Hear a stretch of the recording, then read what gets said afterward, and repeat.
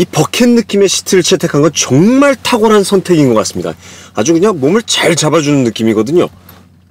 여기다가 놀라운 사실. 따라! 통풍 시트까지 됩니다. 자, 그럼 출발하기 앞서 시트를 제 몸에 맞게 조절을 해보도록 하겠습니다. 좀 내리고, 뒤에는 좀 올리고. 더욱더 놀라운 사실은 K3는 이거를 기억을 해준다는 거죠. 준중형인데 말이죠.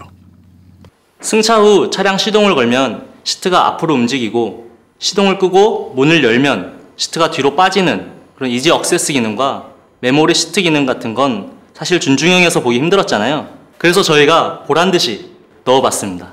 근데 자꾸 이런 식으로 하면 사람들의 눈높이만 마구마구 높아져서 이 다음 차 만들 때 힘들지 않을까요? 뭐 내가 상관할 바는 아니지만